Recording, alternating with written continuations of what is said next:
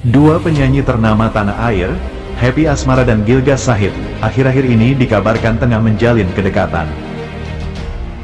Kabar itu semakin ramai dibahas karena Gilga beberapa waktu yang lalu sempat mengunggah foto yang menampilkan kebersamaannya dengan Happy.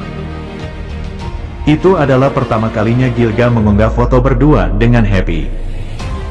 Dalam foto itu, Gilga dan Happy tampak tengah berpose duduk di atas sebuah sofa. Keduanya menatap ke arah kamera dan tersenyum. Pada saat ditemui di kawasan Mampang, Jakarta Selatan, Happy Asmara akhirnya angkat bicara mengungkap status hubungannya dengan Gilga. Diakui Happy, dirinya dengan Gilga berteman baik.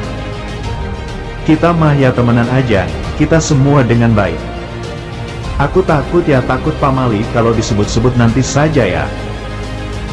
Insya Allah ada berita baik, entah duit entah apa, kata Happy Asmara di kawasan Mampang, Jakarta Selatan, Jumat 19 2024. Dalam kesempatan itu, pelantun single rungkat tersebut juga menegaskan bahwa dirinya memang tidak mau pacaran. Jika menemukan pria yang tepat, ia ingin langsung ke jenjang hubungan yang serius. Kan aku udah bilang, aku nggak pernah mau pacaran, aku tuh maunya langsung serius ya. Langsung saja, ditunggu insya Allah, ucapnya. Penyanyi muda, Anet Deliesia, mengaku dekat dengan anak akan Ruben Onsu, Betran Putra Onsu.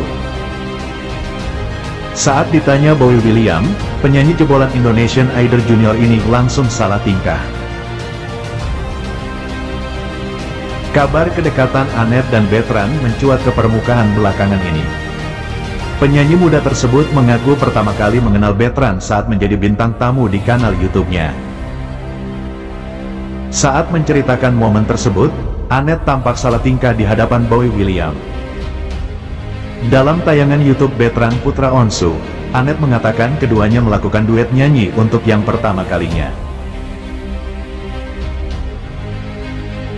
Awalnya itu kita ketemu 2019, kita kayak kolaps gitu di YouTube channelnya dia, dan kemudian kita ya nyanyi doang, tutur Anet dikutip dari YouTube Boy William, Jumat tanggal 19 April tahun 2024. Sejak itu, Anet mengatakan hubungan keduanya semakin lengket satu sama lain. Rupanya, duet perdana beberapa waktu lalu menjadi kesan tersendiri bagi penyanyi kelahiran Balikpapan, tanggal 19 April tahun